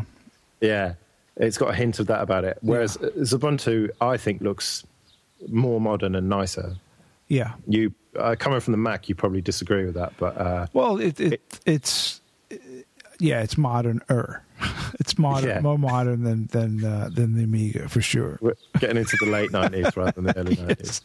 Yeah, it, it's uh, it's circa two thousand and three rather than nineteen ninety three. Yeah, I would okay. guess that's very harsh, but okay. Um, um, so yeah, basically, but all of the ones that we've mentioned so far, I I could use day to day if I if and I would recommend day to day. And depending on how fast you want it, it's it, you know you, you, go. It's a spectrum, isn't it? Yeah. And a decision, a trade off between uh, functionality and speed. So it depends on how old your computer is and now how what, fast what, you want it to run. Now, what if you have an older computer? Let's say you purchased uh, a brand new, top of the line Dell PC in 1999. And it's just sitting there. You haven't booted it for 10 years. Uh, but you think, hey, I could put Linux on this. What, to be what, honest, what, I think Crunchbang would probably run all right on it. Yeah, I was going to say, what what's what kind of options do you have here for for a machine that's probably like a Pentium three or a Pentium four? You know, that's a little. That's... Oh no, a Pentium four will run Crunchbang, no problem. But for example, I've got um, uh, an IBM ThinkPad. Curiously enough, right. A20M, which is uh, it's either a Pentium three or a Celeron. I haven't booted into it recently, but it's like properly old school. It came with Windows 98. Okay. All so, right. so um, definitely late 90s. No, no, uh, mid 90s, I would say. Oh, okay. Uh, earlier than that. Yeah, uh, I would guess. I mean, it was pretty fat and top of the range when it was bought, but um, well, uh, I'm not sure when Windows 98 came out. I mean, obviously 98, around 98. It came but, out in uh, 97, I think. Yeah. Okay, so oh, did it come with 95? I don't know. Anyway, suffice to say, it's properly ancient. Right. Um, and um, for a while, I used Puppy Linux on it, which is the, the first of the, the distros that are um, not based on Ubuntu or Debian that I'm going to talk about. Now, obviously, there are loads more bases like Slackware, yeah. um, the Fedora slash Red Hat base, um, uh, OpenSUSE base, uh, stuff like that. But I, I have found that Debian is the best, so that's what I. I'm talking about stuff that I know about. Okay. So that's that's why this whole thing is a little bit Debian and Ubuntu centric. So Puppy Linux is uh, is very very lightweight. Yeah, Puppy Linux. It's um, well, you you know from downloading the likes of Ubuntu and Crunchbang that they're around about a CD to a DVD, so around about 700 megabytes to a gigabyte right. download. Yeah. Or sometimes a little bit more for, for Linux Mint. I think it might be 1.2 or something. Right. But it, uh, for argument's sake, around about a gigabyte. Well, the download for Puppy is, I think, 120 something megabytes. Wow. Uh, oh, if you think that's wow, wait till we get further on. um, but yeah, so it's and the idea of Puppy, the founding principle of it is that it runs from RAM. So when you boot it, it copies the entire operating system into RAM. Oh, so it's flying then. So it absolutely flies, even on uh, that ancient um, ThinkPad. It runs reasonably well. And I was um, now the thing is, I haven't used Puppy for about four or five years. Okay. Um, since I got money to buy proper computers, basically. Right. Um, and but when I used it, but four or five years ago, I, I managed to turn this shitty ancient ThinkPad into a usable machine. Yeah. I mean, obviously it wasn't amazing, but I was able to go online. I mean, back then it was I was um, browsing 4chan-G quite a lot, the technology board on 4chan, and I was I had no problems there. I could do screenshots and. Um, you know, and participate in threads and all the rest of it. Um, and even watched some videos, I think, um, and and that was using Puppy. But the uh, I devote quite a big section to Puppy in this blog post, um, and the bottom line is that it used to be you'd go to Puppy website, download it, and that would be it now there's two websites because there's some sort of shit going on in the community that I, am too lazy to investigate. But there's puppylinux.org and puppylinux.com. Yeah, and one is the it? official site and one is the community site. Ah. And they've both got different version numbers for download. Um, and there's various versions. They've made it compatible with Ubuntu packages and um, uh, um, Slackware so there's, there's various versions of it, and it's just a fragmented mess. And the website is just horribly confusing. When you first look at, you've got these two websites. Which one? One is linked from Wikipedia. One, if you Google Puppy Linux.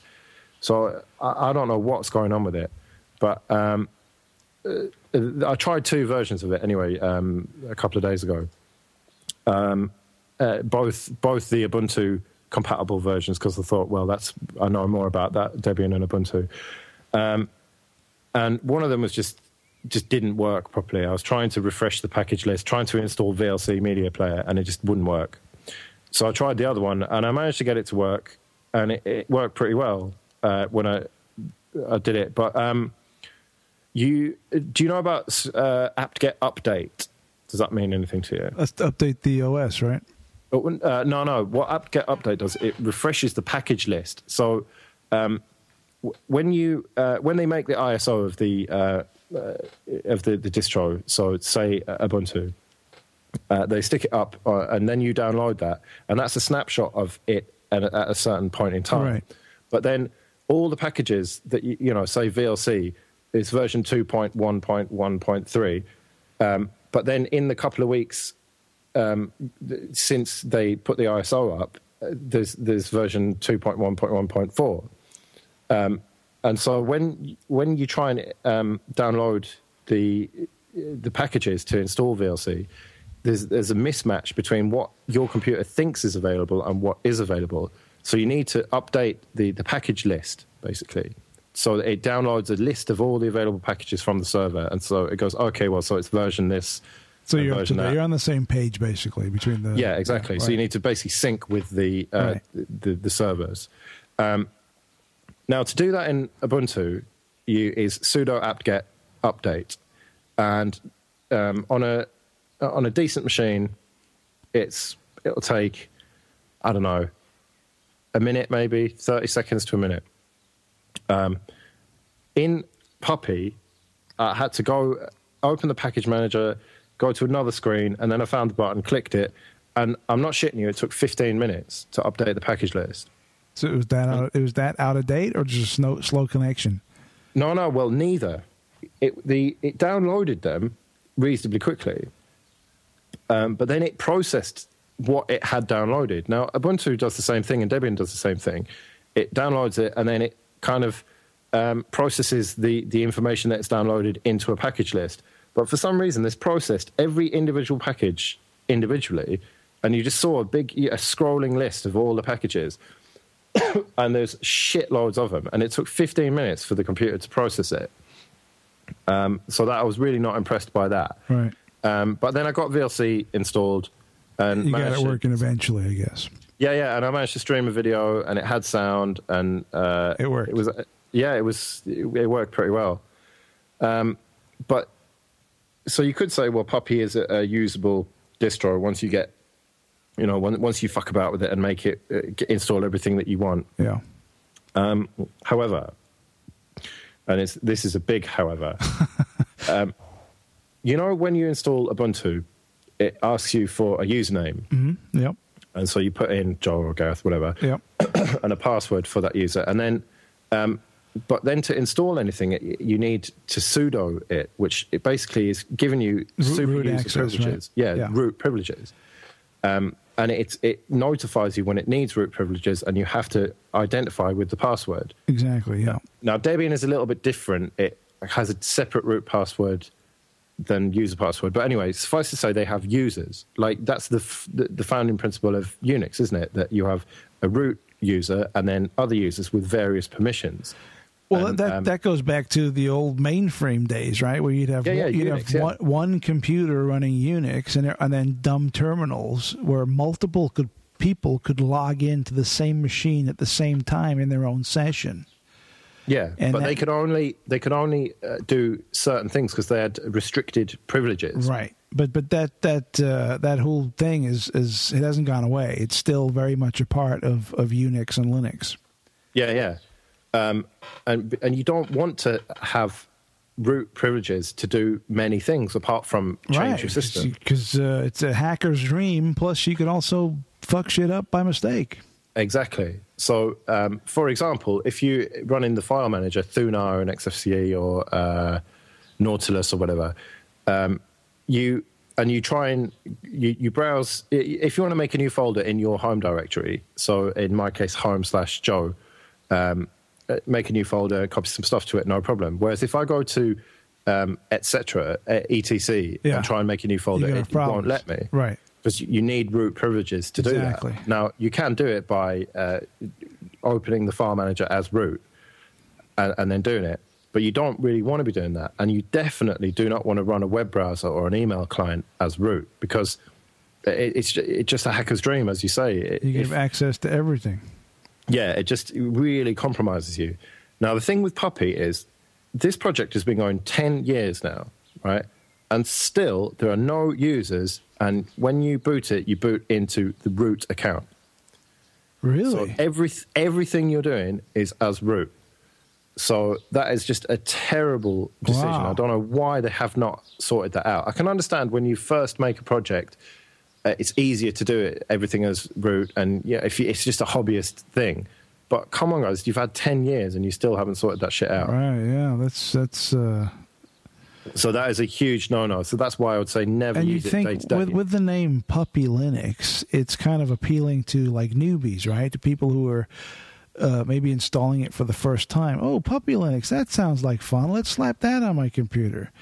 And you're going to install this and uh, have you know the slightest thing you could just fuck up your whole your whole machine. Yeah, exactly. If you don't know what you're doing with it. Yeah. so I would really not recommend using it day to day for so, that reason. If, so what, they, what would you recommend if if you want to run um, a crazy small, ultra fast distribution on old hardware? What if Puppy Linux is not where it's at? What what would you recommend? Well, one that another one I wouldn't recommend is damn small Linux. Now, as the name suggests, it's very small. Now, I said Puppy is about 120. it's damn something. small. Yeah. Um, it, Puppy's about 120 something megabyte. Now, damn small Linux is about 50 megabytes. Wow. Um, and uh, it it, the, it was this project was chugging, uh, chugging along until about 2008 when it uh, seemingly died, and then last year it seems to have been resurrected with a new release candidate. But I, I didn't check out the release candidate. I checked out the last stable release, which is 4.4, and I remember checking that out back in the day, thinking, "Oh my god, this is amazing! It's only 50 megabytes, and it's like a proper desktop, and I can like actually browse the web and and and look at my files and all that, and it's only fifty. This is amazing, but um, I it it just didn't work. I couldn't get a network connection. I tried wireless, I tried Ethernet, and just shit was not working. So I just couldn't really do anything with it. Um, uh, I couldn't even take a screenshot with it, um, which leads me on to TinyCore, TinyCore Linux. Now. Um, you think damn small Linux is small. Yeah. Well, TinyCore's got three uh, versions. One of them is uh, basically headless. It's just a, a, a, terminal, and that's that's eight megabytes. But the, the, that's not a huge surprise. You can get server distros that are very small like that. Um, it's got one full featured one that's 64 megabytes, a little bit bigger than damn small, which has got various programs. But there's one that is just a desktop and nothing else. It's got the ability to install programs on top of it, and that is 12 megabytes. Oh my so I could God. email you the I could email you the uh, the ISO for that. Wow, that is that's yeah. crazy. That's like it is crazy. And I'm looking at some of the screenshots here, and it's actually quite a nice desktop. Very minimal, very minimal. Yeah, it actually comes with a, a, very OS X style, yeah, OS got 10 like style the, dock. The dock at the bottom, uh, very minimal. Yeah, and it's an animated dock as well. The, it does that same like uh, as you scroll along it, things grow and shrink and yeah. stuff.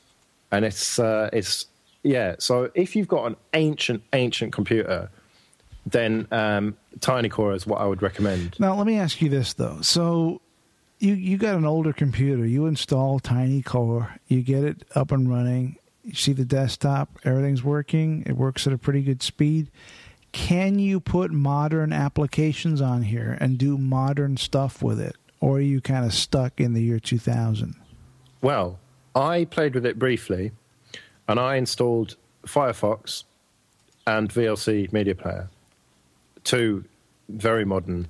So the, the latest versions of Firefox and stuff? Uh, it wasn't the latest version of Firefox, but I'm sure that I could you can just download one and, and run it. Um, uh, it is it is capable of running Firefox, the latest version. I would hazard a guess at. And how and, how did it run? It run good. Uh, well, the problem is that I didn't spend enough time with it, and um, it, the my aspect ratio wasn't right, and um, it had no sound. Um, those things I'm sure can be fixed by installing applications. Yeah. I mean, it's so bare bones that it just doesn't even have a sound uh, mixer or whatever to to interface with it. But I'm sure that it is possible to, to do that to get it if working. you spend enough time. But you got to you got to fool with it to get uh, get the right drivers and get it working. But it is doable.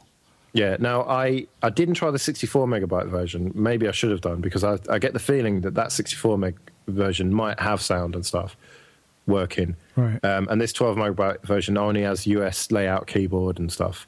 Pretty basic. Um, it's it's very basic, but if it, to me it's it wins the prize. I mean, unless someone can prove me wrong, but it wins the prize for size of download versus usability. There's nothing as small as that, as usable as that. Wow. I don't think, and it, it's it's basically rendered damn small Linux irrelevant.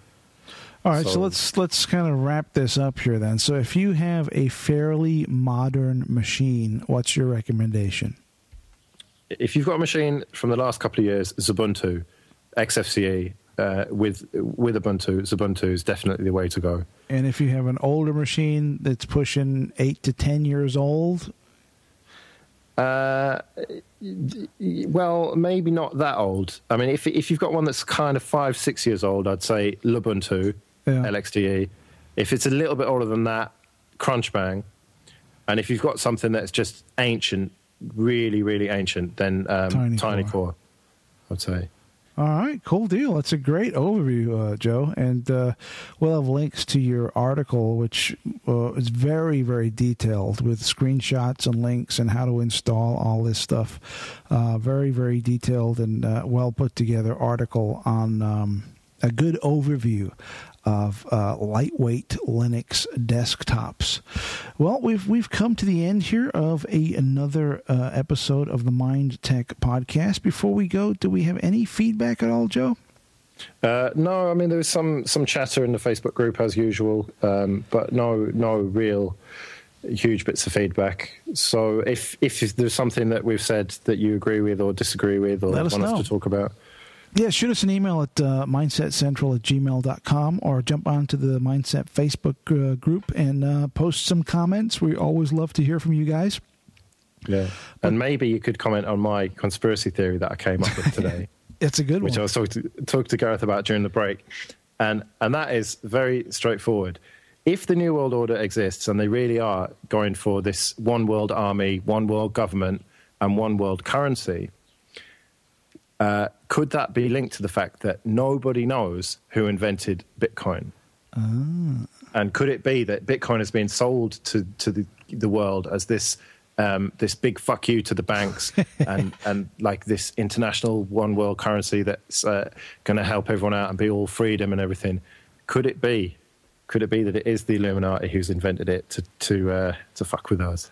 Could it be indeed? Well, we look forward to your comments on that. If you have any comments and or ideas on uh, Joe's new conspiracy theory or anything that we've discussed this week on the Mind Tech podcast, please let us know. Shoot us an email, post in the Facebook group, even post on mindsetcentral.com. Comments are open, so you can add uh, any comments you have directly to the podcast in question. Well, until next week, we'll be back with more topics, more conversation, and more news. We'll see you then. Farewell, good brothers. See you later.